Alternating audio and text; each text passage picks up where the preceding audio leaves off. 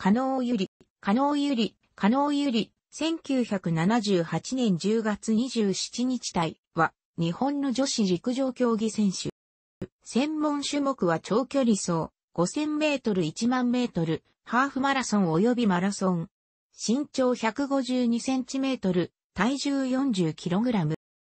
兵庫県高砂市出身。私立須磨女子高等学校を経て、立命館大学経済学部卒業後、2001年に資生堂入社。資生堂ランニングクラブの一員となった。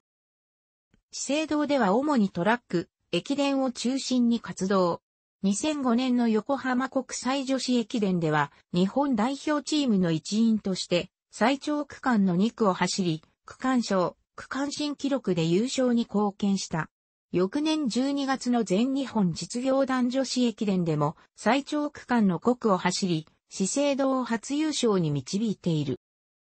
2007年は、可能の大きな転機となった。1月、自身初のフルマラソンとなる、大阪国際女子マラソンに出場し、原由美子、尾崎まりに続く3位に入賞した。2007年世界、陸上大阪大会女子マラソン代表の有力候補であったが、最終的に代表補欠に止まった。4月、路線対立がきっかけで、川越学が資生堂を辞めセカンドウィンドエイジー、スワックを設立すると、可能もこれに従った。2007年9月、北海道マラソンに出場。レース中盤あたりから独走となり、フルマラソン初優勝を果たした。気温摂氏30度を超す猛暑の影響もあってか、ゴール後は軽い熱中症により、優勝インタビューが来ず、医務室へ運ばれた。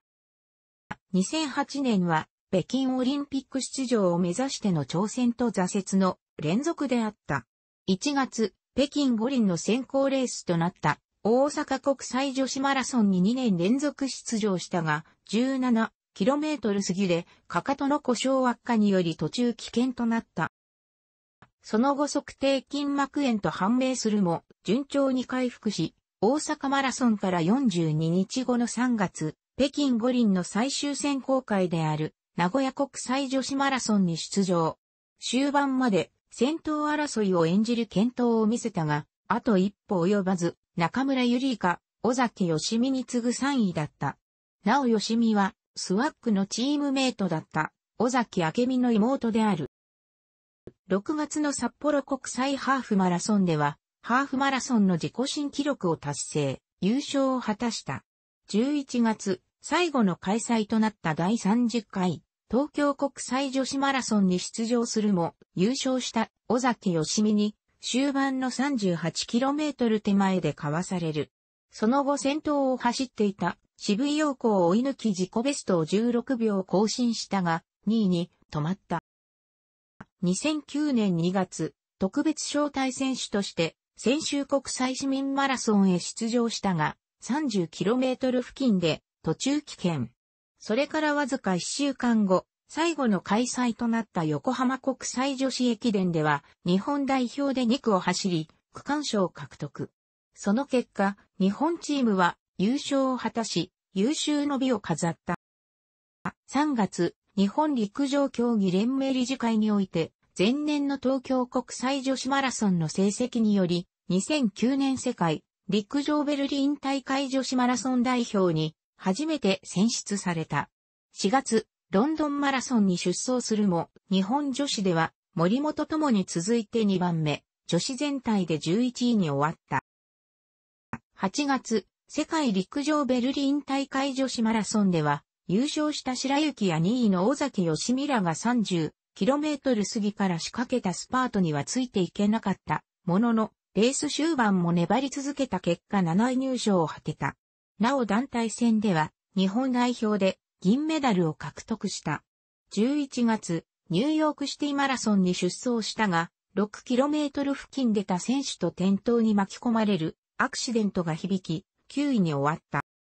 2010年3月、名古屋国際女子マラソンに出場。20度近い高温のためスローペースとなる中、31km 過ぎの上り坂で、自らスパートすると、その後独走となる。その結果、2時間27分台のゴールタイムながらも、北海道マラソン以来2年半ぶり2回目のフルマラソン優勝を成し遂げた。この名古屋の優勝が評価され、2010年11月に中華人民共和国広州市で開催されるアジア競技大会女子マラソン日本代表選手に同チームメイトの島原清子と共に選出された。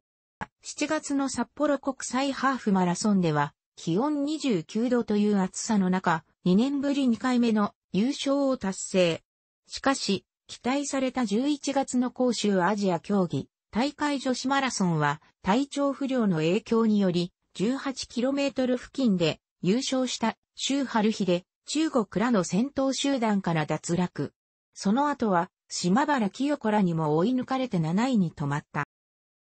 2011年3月、名古屋国際女子マラソンに2連覇を目指して出場予定だったが、本番2日前に発生した東北地方太平洋沖地震、東日本大震災の影響で、同マラソン大会が中止となる。その後も同年4月開催の海外レースへのエントリーはせず、同年8月の2011年世界陸上テグ大会女子マラソン代表入りを断念した。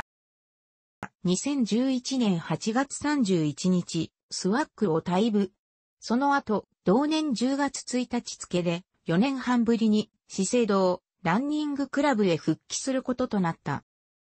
2012年のロンドンオリンピック女子マラソン代表選出を目指し、当初は2011年11月の横浜国際女子マラソン、または2012年1月の大阪国際女子マラソンにエントリー予定だったが、共に足の疲労骨折など故障が回復せず欠場。国内選考会では最後となる2012年3月の名古屋ウィメンズマラソンに強行出場したが、レース序盤の 5km 付近で先頭集団についていけず、ほとんど優勝争いに加われないまま27位に終わった。同年9月のベルリンマラソンに再起をかけて、スタートラインについたが、結局途中危険だった。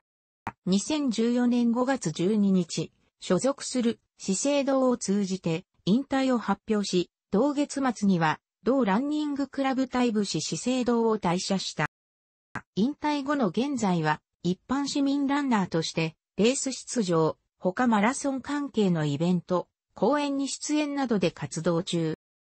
楽しくご覧になりましたら、購読と良いです。クリックしてください。